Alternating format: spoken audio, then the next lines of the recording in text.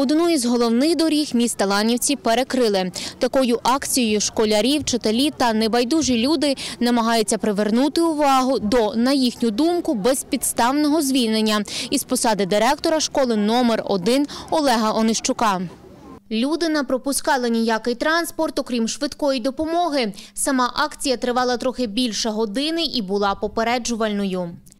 Метою нашої акції є те, щоб відновити Онищука Олега Володимировича на посаді директора нашої школи. Тому що не просто звільнити, звільнити людину так посеред року ще й такої школи тягне за собою дуже багато наслідків, тому що проходить атестація педагогічних працівників, діти випускаються, документи вже треба готувати. А хто буде підписувати це все? Ну тобто багато таких є нюансів.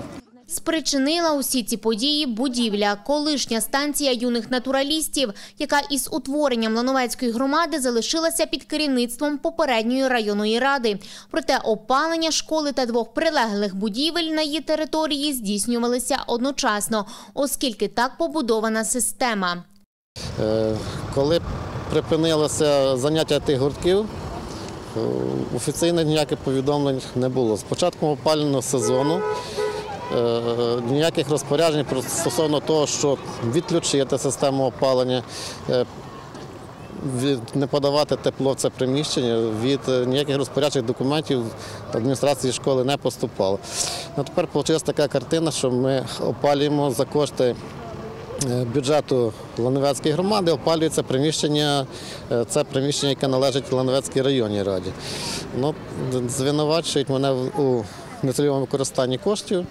За словами пана Онищука, вказівка про відключення будівлі від опалення була лише усною, але офіційних документів школа не отримала.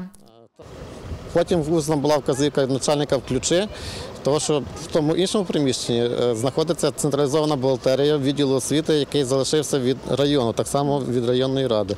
Ось за це опалення відповідно районна рада, згідно договору, який був заключений між, е, е, між громадами, скажімо так, громадою і, і районом. За це приміщення проплата йде за тепло.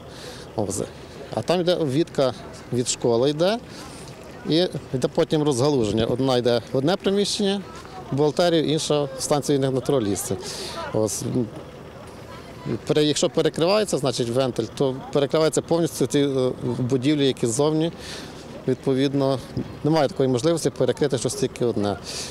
Хоча пан Олег був директором школи у Ланівцях лише протягом півтора року, на його захист стали не лише колеги, але й учні та батьки, які вважають, що дана ситуація є незаконною і вимагають повернути директора на його посаду.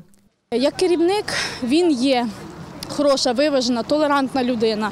Я, на мою думку, це несправедливе рішення його усунути. Ви самі бачите, скільки людей збирається, скільки учнів за всі весь весь педагогічний колектив за Олега Володимировича, тому що немає жодних мінусів, на мою думку. А так з людиною поступати не варто і не гідно.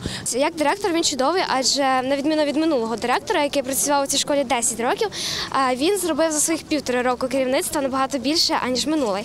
А також як педагог він теж чудовий, він дуже добрий. Ну як людина, він дуже хороший. Таких людей ще потрібно пошукати. Хоча дорога була перекрита людьми, знайшлися й ті, хто, попри натовп, спробував проїхати через тротуар, ледве не зам'явши людей. Протестуючи, вимагають повернення директора на посаду. Та все ж ні міський голова, ні керівник відділу освіти не дали коментарів щодо цієї ситуації, оскільки на робочому місці їх не було.